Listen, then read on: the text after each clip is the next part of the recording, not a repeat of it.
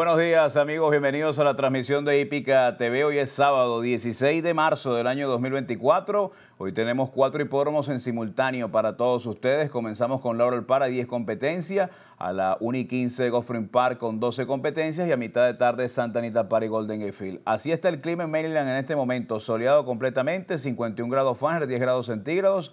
La pista en está rápida y recuerden que la grama regresará en la primavera. Pronóstico del día de este servidor de la primera a la última competencia. Lo ven allí en pantalla, solamente dos ejemplares en la novena, solamente corren cinco caballos y el Ripping Fight que comienza en la primera de la tarde con una base, una línea en la cuarta el 1, 54 dólares el ticket del Early Pick Fight.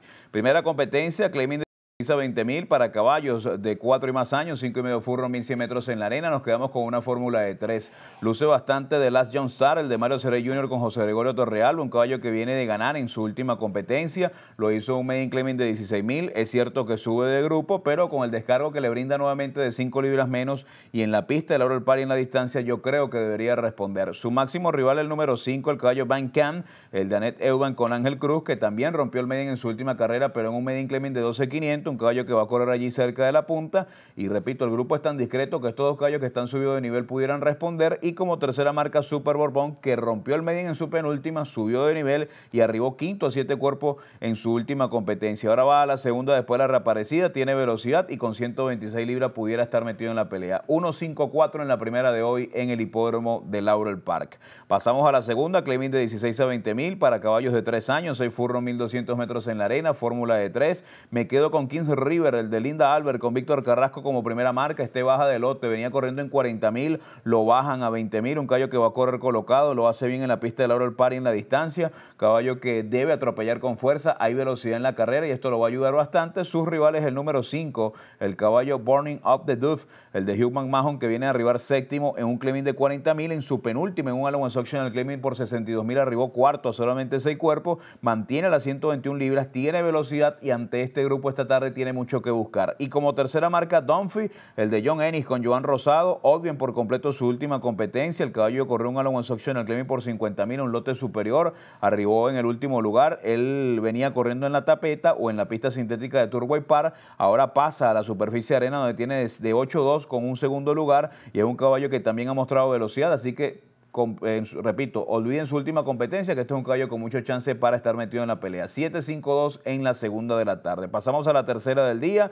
Medin Cleming de 36 a 45 mil para caballos de 3 años. 6 furro 1200 metros en la arena. Fórmula de 3 Megadush. El número 7, el de Robert Bale con Jaron Barbosa. Viene a arribar segundo en su última competencia en este mismo grupo. Caballo que es el mejor remate de la competencia. Va a correr colocado. Lo hace bien en la pista de Laurel Party en la distancia. Y creo que ante el grupo que enfrenta esta tarde él debería responder. Sin embargo, tiene un fuerte rival en el debutante de Brittany Russell con Jevian Toledo, el hijo de Munins, que ha trabajado bastante bien, el caballo Ron Dance, el número 8, en su último briseo del aparato 4 Fulon en 49-1, el lote que le sale al paso me parece discreto, así que si este caballo tiene un poquito de clase pudiera responder, y como tercera marca Blue Kingdom, el de Ben Feliciano Jr. con la monta de Jan Albero, que debutó tercero, cuerpo y un cuarto en este mismo nivel, va a correr cerca de la punta, y bueno, de pelear en las primeras de cambio, él pudiera caer con fuerza y tratar de ganar la carrera en los metros finales. 7-8-3 en la tercera de hoy en Laurel Park. Pasamos a la cuarta del día. Esta prueba es un Alone Auction el Clemmy por 62 mil, caballos de 3 años, una milla y un 16,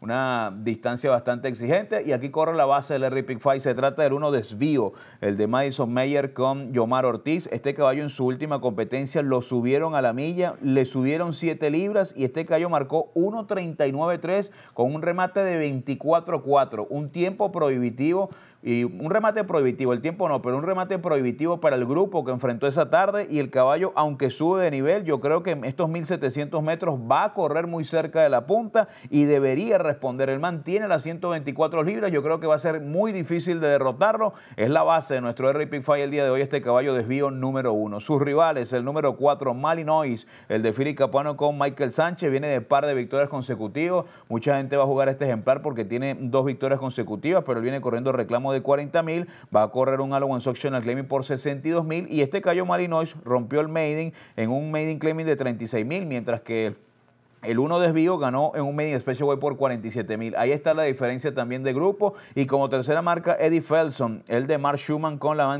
monta de Jaime Rodríguez, un caballo que ganó galopando en Penn National en un Medium Special Way por 36 mil. Está muy bien trabajado. Eh, ya, corre, corrido la distancia de aliento, así que cuidado que pudiera estar metido en la trifecta. Uno fijo 4-2 en la cuarta de la tarde. Pasamos a la quinta, donde comienza el Rainbow Six de hoy. Ahí está el ticket de este servidor. En la novena, el 2. En la novena, el 2 en nuestra base, en nuestra línea. 86 con 40 el ticket para este servidor en el Rainbow Six. Quinta de la tarde, media inclement de 16 a 20 mil, yegua de 3 años, soy furro, 1200 metros en la arena. Nos gusta la número 1A, la yegua Charmin, la de Hugh McMahon con el jinete Ángel Cruz, viene a arribar segunda y tercera respectivamente en lotes parecido al que va a enfrentar esta tarde, lo hace bien en la pista del Lauro del Par, es cierto que nunca ha corrido en esta distancia, pero va a correr colocada, tiene un buen puesto de partida, yo creo que es la yegua a ganarse. Su máxima rival, la número 4, la yegua Edester, la de Brittany Russell con Gevian Toledo, debutó arribando segunda en 12.500, va ahora a 16.000, repite la monta de Gevian, una yegua que debutó en pista fangosa, el día de hoy en pista, de, en pista rápida yo creo que va a correr allí muy cerca de la punta, pudiera ser una fuerte rival y baja 4 libras, y como tercera marca el 7, la debutante City Kiss, la de Carla Morgan con Alexander Chávez,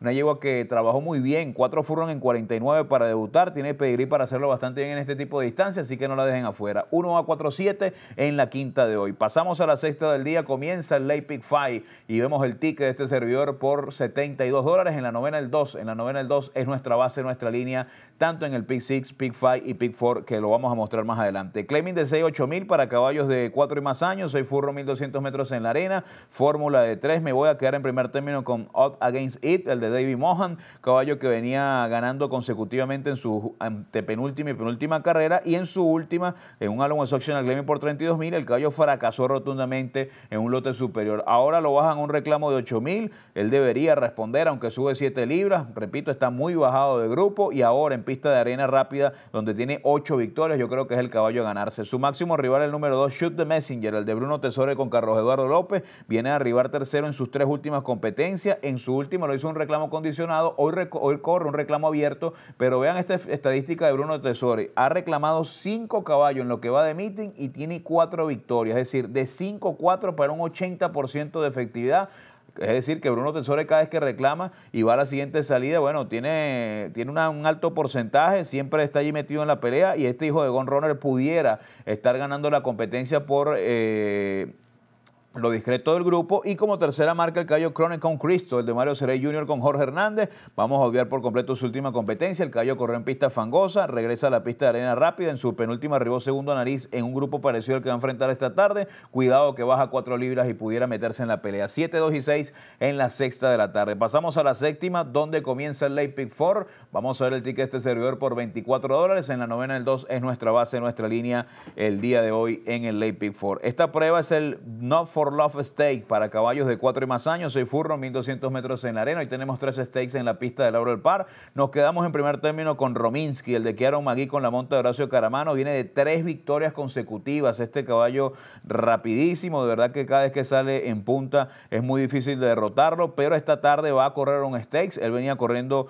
eh, por 49 mil, Halloween por 61 mil, Halloween Sectional Claiming por 40 mil. Hoy corre un stake para caballos nacidos y criados en Maryland. Yo creo que va a volver a salir en punta. Tiene de 13.5 con 4 segundos en la pista de del Pan, en la distancia de 12.4, trabajó bastante bien y Horacio Caramano lo conoce muy bien y lo importante es que baja 4 libras y esto lo va a ayudar bastante. Va a tratar de tomar la delantera y tratar de ganar de extremo a extremo. Su máximo rival, Taikat Hin, que yo no doy en línea Rominsky porque corre este caballo, el pupilo de Gary Capuano con Gemma Rodríguez. Este caballo tiene de 13.4 con 6 segundos y 3 terceros, es decir, en las 13 carreras que ha corrido Taikat todas han estado en el dinero. Igualmente en la pista de Lauro del Par de 6.2 con 3 segundos y un tercero. En la distancia de 8.1 con 5 segundos y dos terceros lugares. Trabajó bastante bien. También tiene velocidad. Vamos a ver quién sale en la punta, si Taika o Rominsky. Yo creo que Rominsky le va a tomar la punta a él, pero este callo pudiera salir allí segundo y tratar de presionar temprano para tratar de pasar en la recta final. Y como tercera marca el 1, el caballo Arden Lucky to Be, otro caballo bastante rápido, el de Dayan McClure con Taylor Pustina,